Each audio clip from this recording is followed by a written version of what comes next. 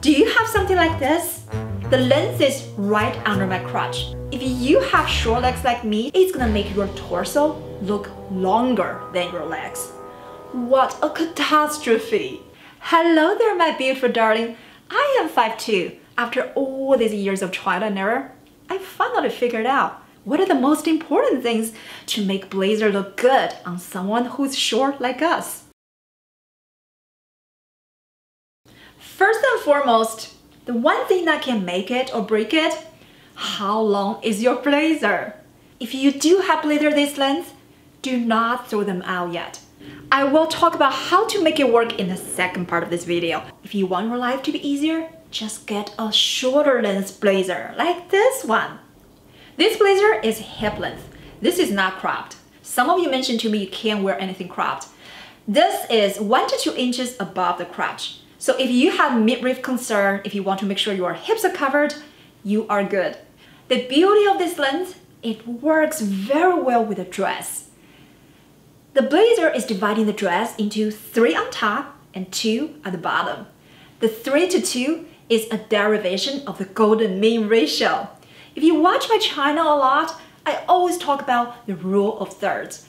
That is another derivation of the golden mean ratio. These are the most pleasant ratio to the eye. If all this is new to you, make sure you watch this video. It's gonna change your life.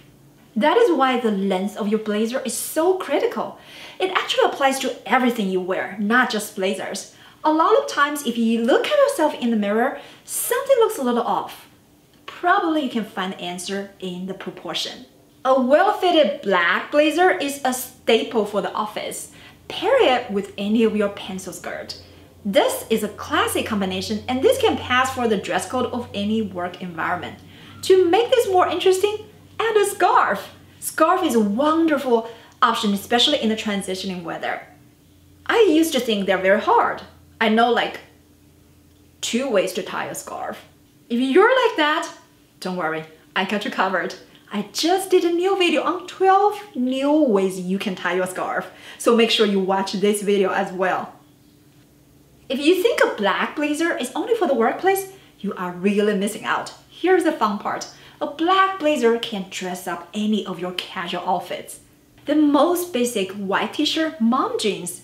Once you throw on black blazer, now you look polished. I'm also pairing it with my pointed toe mules from Steve Madden, one of my favorite shoes. This is still very comfortable and casual outfit, but now you look chic and modern. If you want to take it up a notch, change your mom jeans to dark wash denim or black jeans. This is dressier and switch white t-shirt to camisole. This is a more feminine combination. Now put on your black blazer and pair with strappy sandals. Here you go, now you're ready for any dressy occasion. Girls night out or a date night.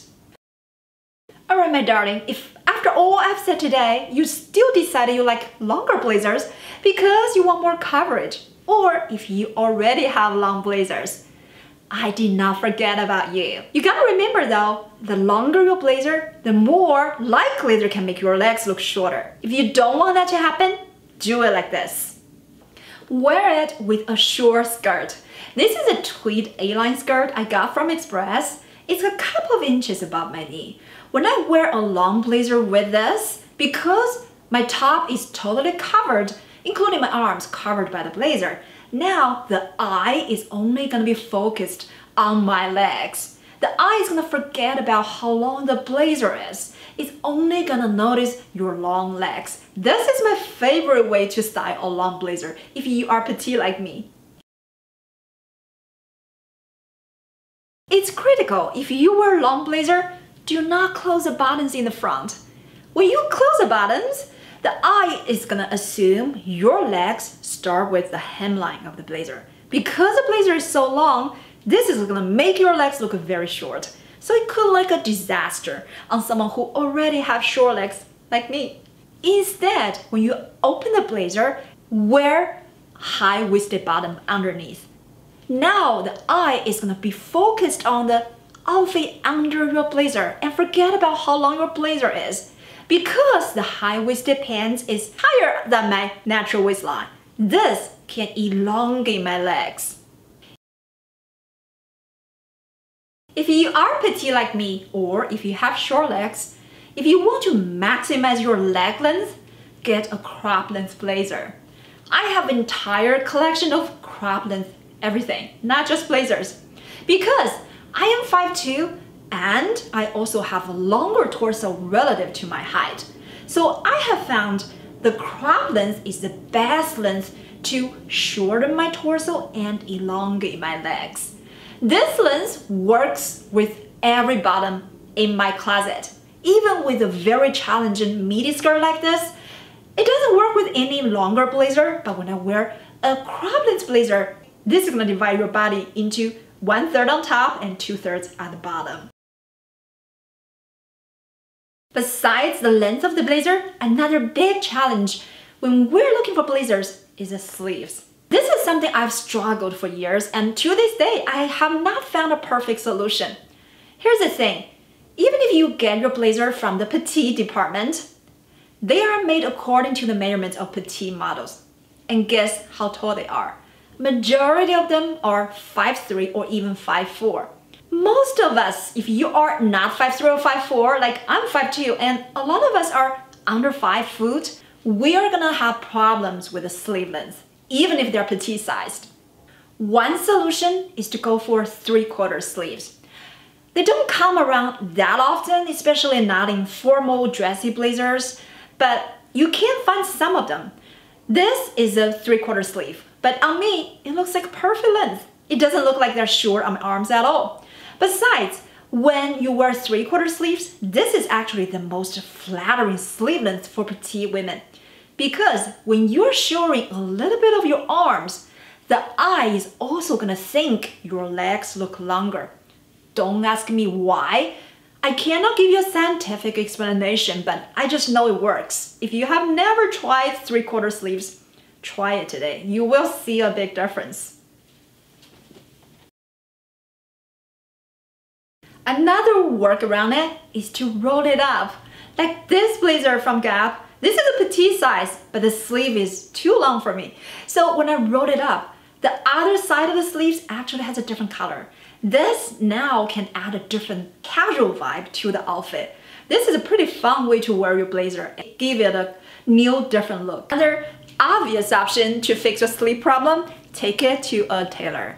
I have gotten a lot of my coats and jackets tailored because the sleeves were too long. However, if your jackets or blazers have details at the sleeves, such as buttons, most of my work jackets do, it's gonna be a lot more complicated for the tailor, so it is gonna cost you a lot more.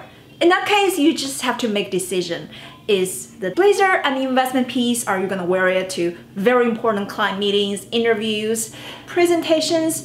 If you do want to get the most wear out of it, and if you can find a tailor that fits your budget, I suggest you do it.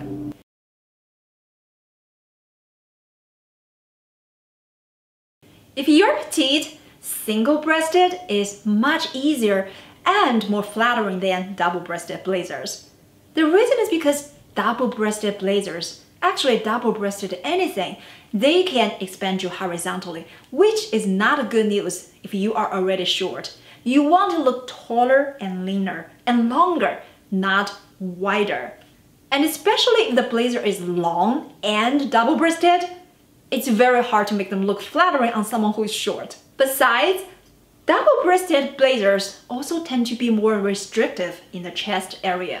If you have full bust, if you're a curvy girl, if you have an hourglass body shape, when you wear double-breasted anything, you might feel like there's not enough wiggle room in the chest or in the arm area, so you're much better off with single-breasted blazers.